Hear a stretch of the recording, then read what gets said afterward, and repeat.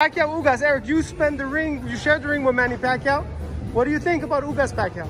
It's a good fight. It's a very, very good fight, top. Uh-huh. And uh, maybe, maybe if Pacquiao don't, don't have a, uh, uh, be careful, maybe it's dangerous. It's a dangerous fight. It's a hard fight. Uh, what's your prediction? What do you think happens? Uh, maybe, maybe one for uh, decision. Now, Manny's very fast. When you fight him, how do you deal with speed like that? Oh, it's difficult because he's, he's southpaw. So it's, it's difficult. Okay, what's the one thing that Ugas does that he's the best? Does he have the best jab, best No, defense? the best- uh, the Ugas is very, very, very technique. The most pro- problem in the Pacquiao style is when somebody is technique.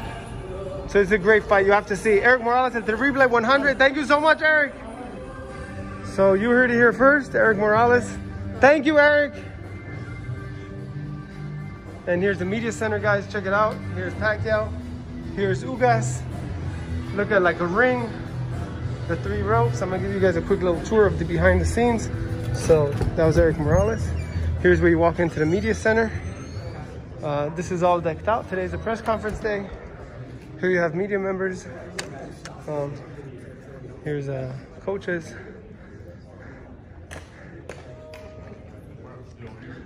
The food, how's it going? the food for me. Here is Rick, the number one videographer in the history of the Philippines. Um, drinks that they have here. Here's the UK media people. Um, and look, they got the posters up in no time. I'm sure it wasn't easy to arrange.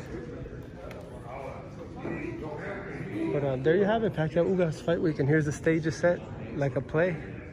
So we'll keep you guys posted. Full coverage right here in Las Vegas. Stay tuned. FightUseReporting.com. I'm Elie Seckbach reporting, and you can follow me on Twitter at Seckbach. You can follow me on Instagram at Elie Seckbach.